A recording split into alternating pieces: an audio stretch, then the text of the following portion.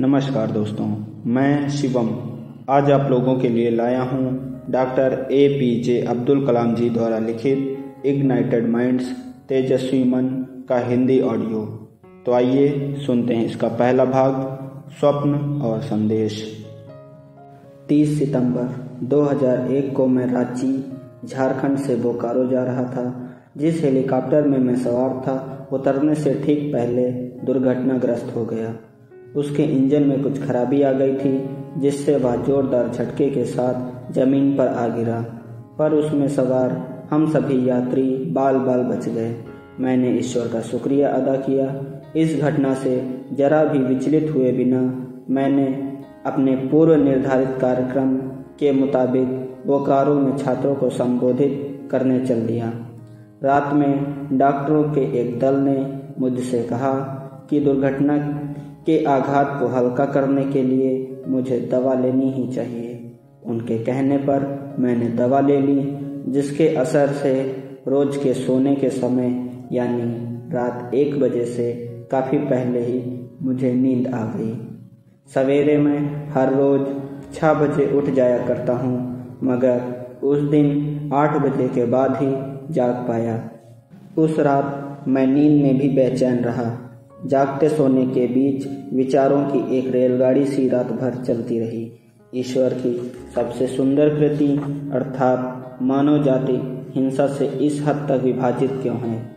उस रात मैंने अपनी कल्पना में ऐसे पाँच लोगों को आपस में बातचीत करते सुना जो मानव की बेहतरीन विशेषताओं का प्रतिनिधित्व करते हैं और जिनका मैं काफ़ी सम्मान करता हूँ। उनकी बातचीत से मैंने अपने प्रश्न का जवाब तलाशना चाहा। इस अनुभव में, जो दरअसल किसी सपने से भी कहीं ज़्यादा तीव्र अनुभूति लिए था, लेकिन बेहतर शब्द न मिल पाने की वजह से मैं स्वप्न ही कहूँगा।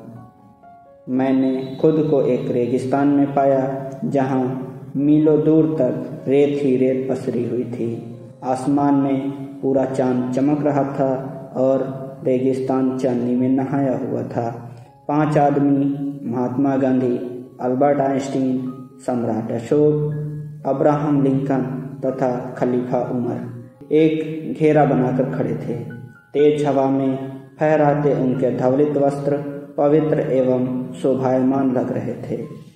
मैं सम्राट अशोक के बराबर में खड़ा हुआ खुद को बौना महसूस कर रहा था। अशोक ने दो जीवन जिए थे। एक क्रूर विजेता का और दूसरा एक रहम दिल शासक का। मैं उस अशोक के साथ खड़ा था, जो अभी जीत कर लौटा था, लेकिन उसे इस जीत की भारी कीमत चुकानी पड़ी थी। कलिंग युद्ध में तीन लाख लोगों को अपनी जान से हाथ धोना पड़ा था और लगभग इतने ही घायल हुए थे। मैंने देखा कि सभी लोग अशोक को देख रहे थे, जो घुटनों के बल और अपना कवच तथा ताज उतार चुके थे। उनके पीले पड़े चेहरे पर मौत की परछाई साफ़ दिखाई दे रही थी। उन्होंने आसमान की ओर देखा। उन्होंने चमकते शीतल चंद्रमा को निहारा और धरती माँ पर बरसती ईश्वरीय कृपा को देखा। फिर उन्होंने उस भयानक दृश्य को देखा, जिसे उन्होंने रचा था और जिसमें हर तरफ़ रक्त ही रक्त बह रहा था। सौंदर्य और दहशत के क्षण में उजली चांदनी और ज़मीन पर बिखरे दुख दर्द से भरे क्षण में, जबकि स्वयं प्रकृति उसके खिलाफ बोलती प्रतीत हो रही थी, जो उनका किया धरा था। अहिंसा धर्म का जन्म हुआ। सम्राट अशोक ने इस शिक्षा के आधार पर मानव जाति में प्रेम का प्रसार करने के ईश्वरीय आदेश को स्वीकार कर लिया। मैं वहाँ खड़ा था और हैरान हो रहा था, क्यों हुआ कलिंग युद्ध? और फिर क्यों हुई महात्मा गांधी और अब्राहम लिंकन की हत्या, तथा उनके जैसे कई अन्य हुतात्माओं की भी? क्या सर्वशक्तिमान ईश्वर से अपनी कृति में कोई चूक हो गई है? क्या दूसरे सर्जन के लिए मानव जाति का विनाश अवश्यम भावी है?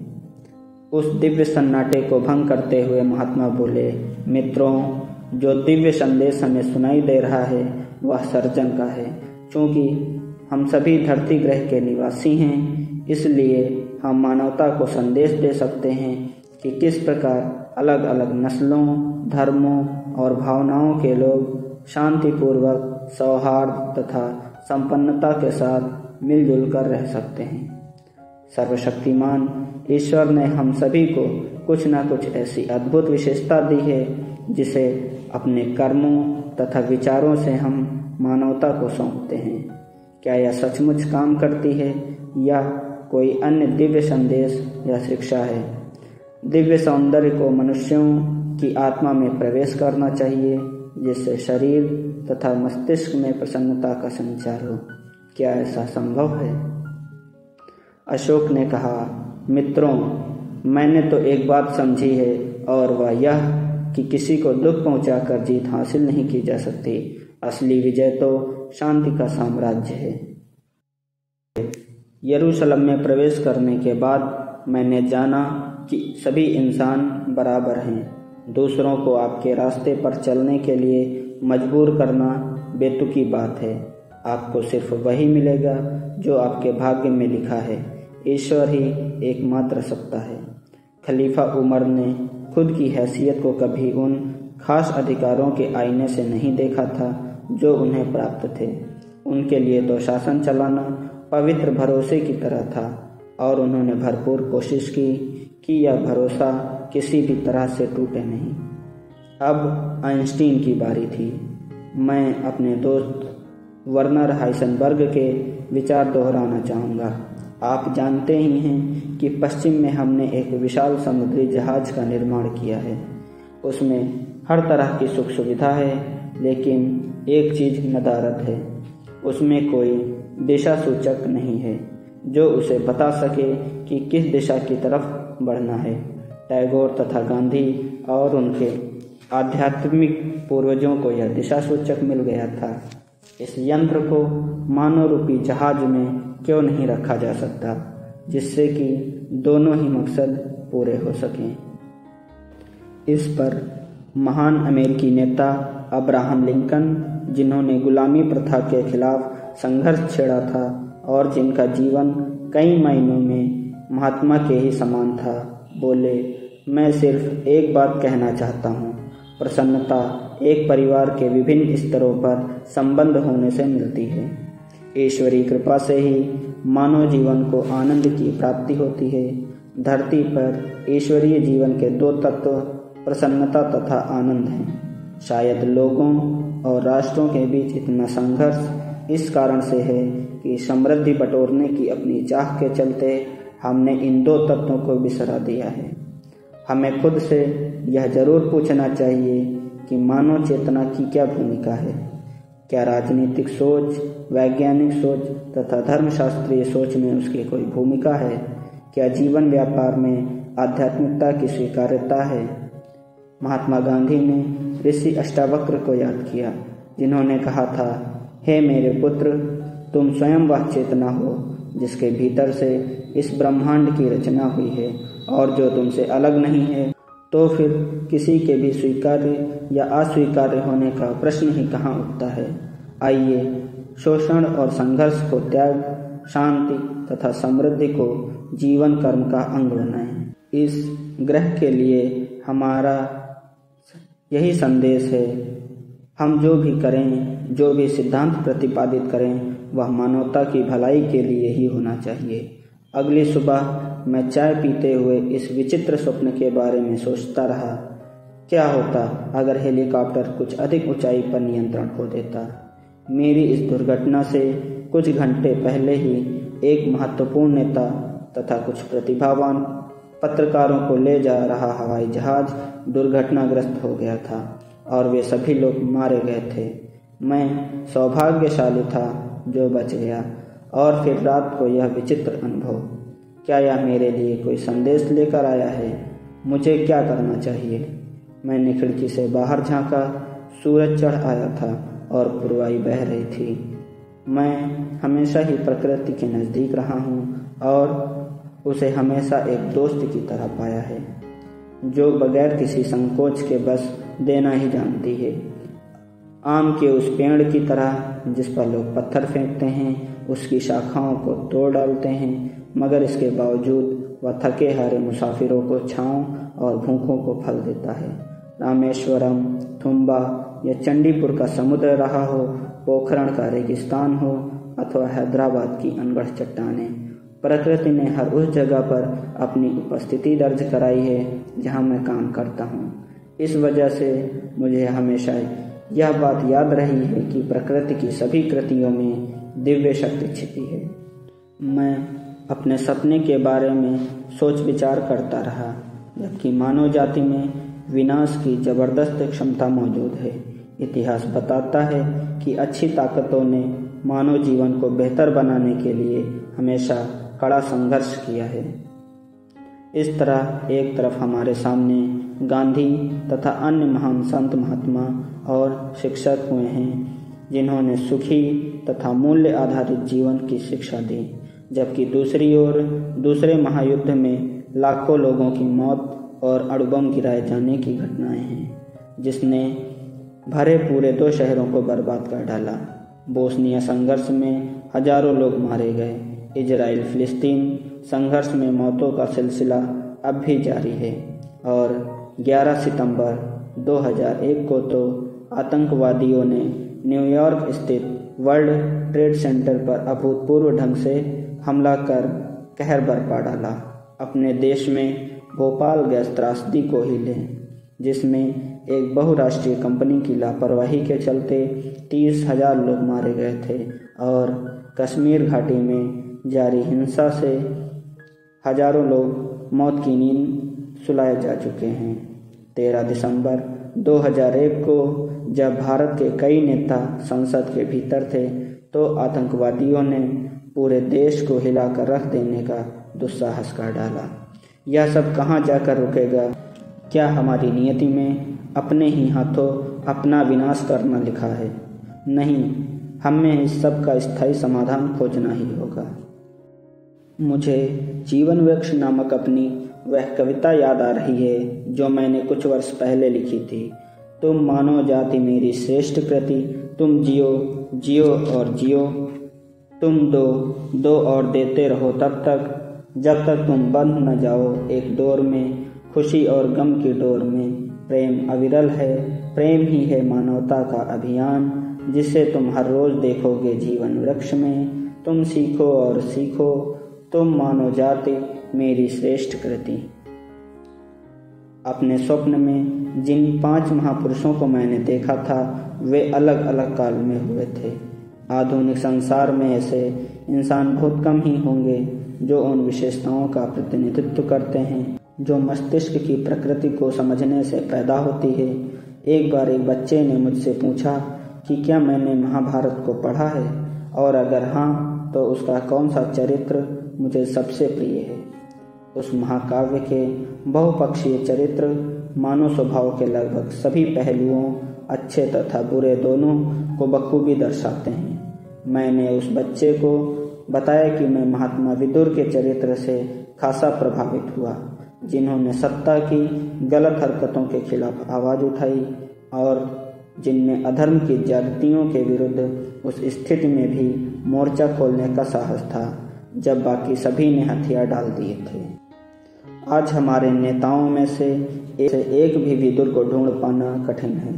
इतने ज्ञानी मनुष्य के होने की कल्पना भी कर पाना मुश्किल है और उस ज्ञान की दशा को प्राप्त होने को लक्ष्य बनाना तो इससे भी ज़्यादा दुरूह है। वर्तमान में सार्वजनिक जीवन का स्तर तो और भी निरुत्साहित करता है।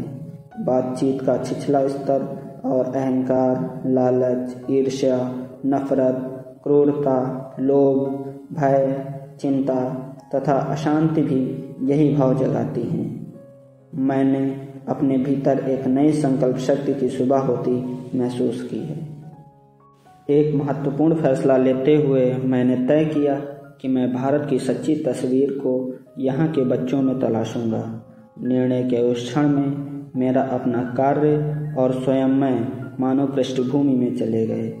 मेरा वैज्ञानिक करियर, मेरी टीम, मेरे पुरस्कार सब के सब गौड़ हो गए। मैंने उस शाश्वत मेधा का अंश बनने की ठानी जो स्वयं भारत है। मैंने हँसते चहकते बच्चों के साथ मेलजोल बढ़ाकर, स्वयं से पार जाकर अपने भीतर को खोज पाने की, अर्थात अपने ही भीतर मौजूद स्वयं के उच्च धरातल को तलाश लेने की उम्मीद जगाने की सोच ली। कहा जाता है कि हर व्यक्ति अपने जीवन काल में अलग अलग चरणों से गुजरता है। Doctor Y N W Dyer ने अपनी पुस्तक मैनिफेस्ट योर डेस्टिनी में इन चरणों को दिलचस्प ढंग से विभाजित किया है। धावक या खिलाड़ी का चरण, योद्धा का चरण, सत्ताधारी चरण और महापुरुष का चरण। मुझे लगता है कि राष्ट्र भी इसी तरह से अलग अलग दौर से गुजरते हैं और इसी वर्गीकरण को राष्ट्रों की स्थिति में देखें तो अंतिम दो चरणों को मैं बिग ब्रदर यानी बड़ा भाई और स्वानुभूति चरण के नाम से पुकारता हूँ। ज़रूरी नहीं कि ये चरण सिलसिलेवार हों, इनका साथ साथ भी अस्तित्व हो सकता है, जिसमें एक पक्ष अन्य के मुकाबले अधिक हावी हो। कोई भी राष्ट्र अपनी आज़ादी के संघर्ष से उबरकर जब धावक चरण में प्रवेश करता है तो वह ऊर्जा से सराबोर होने के कारण प्रदर्शन तथा उपलब्धियों की दौड़ में शामिल हो जाता है। जापान, सिंगापुर और मलेशिया में यही हुआ है। इस चरण को छोड़ने के बाद एक देश योद्धा के चरणों में पहुँचता है। अपनी उपलब्धियों पर गर्व के भाव से भरा पूरा वह राष्ट्र दूसरों के मुकाबले स्वयं की बेहतर स्थिति को दर्ज भी करवाना चाहता है। और कभी कभी वह उन्हें पराभूत कर ऐसा करता है। ऐसे में उसका अहम ही उसे संचालित करता है। इस चरण से गुजरने के दौरान लोग अपने मुकाम तथा उपलब्धियाँ हासिल करने की दौड़ में व्यस्त रहते हैं। और जैसा डायर ने भी लिखा है कि तब उन्हें चिंता आ घेरती है। दूसरों को अपनी उत्कृष्टता का लोहा मनवाना ही मुख्य ध्येय होता है। अगले चरण अर्थात बड़े भाई के दौर तक आते आते अहम भाव में कुछ ठहराव आ चुका होता है और नई नई प्रौढ़ता के चलते जागरूकता उन्हें दूसरे देशों तथा समाजों के लिए क्या महत्वपूर्ण है या सोचने को प्रेरित करती है? इस चरण में भी राष्ट्र उपलब्धियों के भाव से तो भरा होता है, परंतु वह अपनी ताकत को जताने के लिए बेचैन नहीं होता। उनकी मूल सोच तब दूसरों की स्थिति में सुधार लाने की होती है। पूर्व सोवियत संघ ने कुछ देशों में विकास गतिविधियाँ प्रारंभ कर यही भूमिका निभाई थी। जिस तरह किसी व्यक्ति के लिए योद्धा के चरण से निकलकर बड़े भाई की भूमिका ओढ़ना कठिन काम है, उसी तरह राष्ट्रों के लिए भी यह दौर लाभकारी होने के साथ साथ कठिन भी होता है। इस बड़े भाई की भूमिका वाले चरण से बढ़कर भी एक चरण है। इसमें पहुंचकर ही कोई राष्ट्र अपना वास्तविक सार तलाश पाता है। यहाँ तभी पहुँचा जा सकता है जब किसी राष्ट्र को यह समझ आ जाती है कि यह धरती किसी एक देश की बपौती नहीं है, बल्कि सभी की है। और जब उसके नागरिक अन्य इंसानों के प्रति अपने दायित्वों को बखूबी समझ लेते हैं, इसे स्वानुभूति का चरण कहा जा सकता है और भारत के पास इसे प्राप्त करने की क्षमता निश्चित रूप से हो सकती है। लगभग 43 वर्षों के अपने कार्यकाल में मैंने कई संस्थानों को अपनी कर्मभूमि बनाया है। परिवर्तन महत्वपूर्ण है। इससे नए विचार आते हैं। ये नए विचार ही कुछ नया सर्जनात्मक कार्य करवाते हैं। 15 अगस्त 2001 को मैंने फिर से बदलाव करने का फैसला किया। मैंने प्रधानमंत्री अटल बिहारी वाजपेयी को अपने इरादे से अवगत कराया। मैंने इससे पहले भी कुछ मौक़ों पर उन्हें मुझे कार्यमुक्त कर देने की बात कही थी, लेकिन तब उन्होंने मुझे सलाह दी कि मैं अपना काम जारी रखूँ और उनकी बात रखी भी गई। रॉकेट क्षेत्र में बीतता मेरा पूरा जीवन जैसे विभिन्न चरणों में बट गया। हर चरण को रॉकेट के कुछ आगे ले जाकर उसके प्रक्षेपण पथ में डालने के बाद अलग कर दिया जाता है। मैंने सन उन्नीस से बयासी के दौरान भारतीय अंतरिक्ष अनुसंधान संगठन में काम किया। सन 1980 में भारत ने अपने पहले उपग्रह प्रक्षेपण यान को प्रक्षेपित किया, जिसने रोहिणी उपग्रह को उसकी कक्षा में भेजा। और इस तरह हमारा देश विशिष्ट अंतरिक्ष क्लब का सदस्य बन गया। मैंने एस एल वी थ्री अभियान के परियोजना निदेशक के तौर पर टीम का नेतृत्व किया था। हमारे इस प्रयास में सफलता ने देशों को उपग्रह प्रक्षेपण यान प्रौद्योगिकी तथा नियंत्रण, मार्गदर्शन, प्रोपल्सन और एरोडायनेमिक्स में विशेषज्ञता दिलाने के साथ साथ विभिन्न रॉकेट प्रणालियों का डिज़ाइन तैयार करना भी सिखा दिया। इस सबसे बढ़कर इस परियोजना ने संगठन को अलग अलग संस्थानों जैसे अनुसंधान तथा विकास, आर एंड डी, प्रयोगशालाओं, उद्योगों और शैक्षिक संस्थाओं से प्राप्त सहयोग के आधार पर डिज़ाइन, विकास और प्रबंधन प्रणालियों में बेहतर क्षमताएँ विकसित की। साथ ही इस कार्यक्रम ने प्रौद्योगिकी और प्रबंधन के क्षेत्रों में नेतृत्व भी तैयार किया। इस परियोजना से जुड़े कई लोग आज भी विभिन्न अंतरिक्ष और रक्षा कार्यक्रमों में महत्वपूर्ण भूमिकाओं में कार्यरत हैं। यह मेरा पहला चरण था, जिसमें मैंने तीन महान अध्यापकों से नेतृत्व के गुण सीखे। वे थे डॉक्टर विक्रम साराभाई, प्रोफेसर सतीश धवन और डॉक्टर ब्रह्म प्रकाश यह मेरे लिए सीखने तथा ज्ञान बटोरने का समय था। दूसरे चरण की शुरुआत सन उन्नीस सौ बयासी में रक्षा अनुसंधान और विकास संगठन डीआरडीओ से मानी जा सकती है। यहाँ भी प्रक्षेपास्त्र प्रौद्योगिकी नियंत्रण व्यवस्था एमटीसीआर तथा परमाणु अप्रसार संधि एनपीटी जैसे उपकरणों के ज़रिए प्रौद्योगिकी की मनाही की पृष्ठभूमि में टीम भावना ही प्रमुख थी।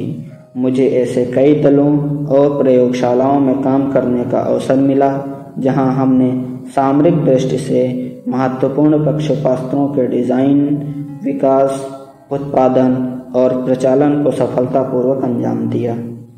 इस प्रकार के सामरिक रूप से महत्वपूर्ण प्रक्षेपास्त्र भारत को किसी भी देश से नहीं मिल सकते। भले ही उस देश के साथ हमारे कितने भी दोस्ताना संबंध क्यों न हो। इस अवधि में उत्कृष्ट क्षमताओं से युक्त तीन नई प्रयोगशालाएँ तैयार हुई। इनमें से एक हैदराबाद स्थित अनुसंधान केंद्र इमारत आर सी आई प्रक्षेपास्त्र प्रौद्योगिकी से संबंधित थी। दूसरी मुख्य भूमि पर तथा तीसरी एक द्वीप पर जो बंगाल की खाड़ी के तट पर चंडीपुर के नज़दीक स्थित था। इनके अलावा प्रयोगशालाओं तथा शैक्षिक संस्थानों द्वारा ईजाद की गई महत्वपूर्ण प्रौद्योगिकी की बदौलत देश प्रक्षेपास्त्र प्रौद्योगिकी नियंत्रण व्यवस्था के दबावों से मुक्त होकर एक प्रौद्योगिक शक्ति के रूप में उभरा। हमारी टीम अंतर महाद्वीपीय बैलिस्टिक प्रक्षेपास्त्र आईसीबीएम समेत किसी भी प्रकार की प्रक्षेपास्त्र प्रणाली का निर्माण कर सकती थी। इस चरण के दौरान मुझे कई सफलताएँ और कुछ एक असफलताएँ भी मिली। मैंने इन असफलताओं से सीखा और साहस के साथ उनका मुकाबला करने के लिए खुद को तैयार किया। यह मेरा दूसरा चरण था, जिसने मुझे असफलताओं के बीच प्रबंधन जैसा महत्वपूर्ण सबक सिखाया। तीसरा चरण, आणविक ऊर्जा विभाग डीएई तथा डीआरडीओ और सशस्त्र सेना के बीच ज़बरदस्त तालमेल से भारत को परमाणु शस्त्र संपन्न राष्ट्र बनाने के अभियान में भागीदारी का हो सकता है। यह अभियान भी पूरी तरह सफल रहा। लेकिन जब बच्चे मुझसे पूछते हैं कि पिछले चालीस वर्षों में मुझे किसने सबसे ज़्यादा खुशी दी तो मैं उन्हें बताता हूँ कि मुझे सबसे अधिक प्रसन्नता तब होती है जब मैं हृदय रोगियों को अपनी धमनियों में कलाम राजू, कोरोनरी स्टेंट लगाए हुए और विकलांग बच्चों को light weight floor, reaction orthosis F R O calipers लगाने के बाद उनकी तकलीफ़ों को कुछ हल्का होता देखता हूँ। ये दोनों ही प्रक्षेपास्त्र प्रौद्योगिकी की मदद से हमें मिले हैं। इस चरण के दौरान मैं विज्ञान और प्रौद्योगिकी विभाग के अंतर्गत कार्यरत।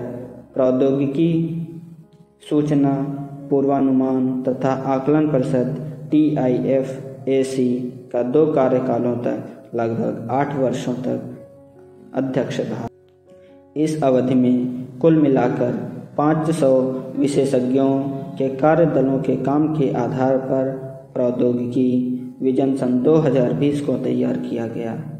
इन कार्य दलों ने विभिन्न क्षेत्रों से जुड़े 5000 वैज्ञानिकों और तकनीकविदों से प्राप्त जानकारी की मदद से यह काम किया था। बाद में प्रौद्योगिकी विजन दस्तावेज़ तथा राष्ट्रीय सुरक्षा के पहलुओं को मिलाकर भारत सहस्राब्दी मिशन आई एम एम दो हज़ार बीस तैयार किया गया। नवंबर 1999 में जब मैंने भारत सरकार के प्रमुख वैज्ञानिक सलाहकार का पदभार संभाला तो मेरे सामने इस योजना को विस्तृत करने तथा कार्य रूप देने की चुनौती थी। वास्तव में यह भारत को विकसित राष्ट्र में तब्दील करने का रास्ता दिखाता है। देश के लिए मानो यह दूसरी अंतर्दृष्टि है। शिक्षा, कृषि तथा कई गाँवों का समन्वित विकास कार्य फ़िलहाल प्रगति पर है। इस विषय पर सरकारी मंजूरी प्राप्त करने के लिए कैबिनेट का दस्तावेज़ पेश किया जा चुका है। इस तीसरे चरण के दौरान संस्थागत भागीदारी से प्रौद्योगिकी के स्तर पर ऊर्जा बटोरना, समाज की ज़रूरतों के मुताबिक तकनीकों का अनुकूलन और देश के लिए अंतर्दृष्टि तैयार करने के कार्य में मैं व्यस्त रहा। तीस सितंबर 2001 की हेलीकॉप्टर दुर्घटना ने मुझे एहसास कराया है कि तीसरे चरण को त्यागने का भी समय अब आ गया है। इस विचार ने फिर 2 अक्टूबर को और ज़ोर पकड़ा जब महात्मा गांधी के जन्मदिन पर मैं केरल में कोल्लम में माता अमृत आनंदमयी के आश्रम में गया। उन्होंने नेताओं तथा उद्यमियों की नई पीढ़ी तैयार करने के लिए शिक्षा और अध्यात्म के एकीकरण पर ज़ोर दिया। 12 अक्टूबर 2001 को, जबकि सूर्य के चारों ओर मुझे सत्तरवीं परिक्रमा पूरी करने में तीन दिन बाकी थे। मैंने प्रधानमंत्री को अपने अवकाश प्राप्त करने के इरादे के बारे में औपचारिक रूप से बताया और एक महीने के भीतर ही कार्यमुक्त किए जाने का अनुरोध किया। इस बार वे कुछ नरम पड़े और मेरा अनुरोध स्वीकार कर लिया गया। इस बीच मैं स्कूलों में आता जाता रहा। कई राज्यों, विशेषकर पूर्वोत्तर में असम और त्रिपुरा तथा झारखंड और तमिलनाडु के कुछ एक स्थानों की यात्राओं के दौरान मैंने हज़ारों स्कूली बच्चों को संबोधित किया। मैंने पाया कि मैं इस आयु वर्ग के साथ अच्छी तरह संवाद स्थापित कर पाता हूँ। उनकी कल्पनाओं की उड़ानों में उनका साथ देने में मुझे विशेष कठिनाई नहीं होती। इससे भी ज़्यादा महत्वपूर्ण तो यह है कि उनके साथ मेल जोल बढ़ाकर मैंने महसूस किया कि मैं उनके मन में विज्ञान के प्रति अलग जगा सकता हूँ और उसके ज़रिए भारत को विकसित राष्ट्र बनाने के अभियान से जोड़ सकता हूँ। क्या यह मेरा चौथा चरण होगा? क्या मैं सफल रहूँगा? मैं सचमुच इस बारे में नहीं जानता। लेकिन एक बात मैं बहुत अच्छी तरह जानता हूँ और वह यह कि सपनों के प्रति संकल्पबद्ध होने से बढ़कर कोई ताकत धरती पर तो क्या स्वर्ग में भी नहीं है। सपनों में वह ऊर्जा समाई होती है जो दिलों में रहती है और सपने ही आध्यात्मिक तथा भौतिक पदार्थों को एक साथ लाते हैं। मैं पिछले कई वर्षों से शोध और अध्यापन से जुड़ना चाह रहा था। इसी उद्देश्य से तथा स्कूली बच्चों के संपर्क में रहने की अपनी इच्छा के चलते मैं अन्ना विश्वविद्यालय, जो मेरा अपना विश्वविद्यालय भी रहा है, से जुड़ गया हूँ। रचनात्मकता और ऊर्जा से लबालब भरे युवाओं के बीच होना कितना सुखद एहसास देता है। इस विशाल ऊर्जा का रचनात्मक तरीके से राष्ट्र निर्माण की राह पर मार्गदर्शन करने की कितनी बड़ी ज़िम्मेदारी इस देश के बड़े लोगों पर है। हम अतीत में गंवाए जा चुके अवसरों तथा असफलताओं के कारण नुकसान की भरपाई किस प्रकार कर सकते हैं?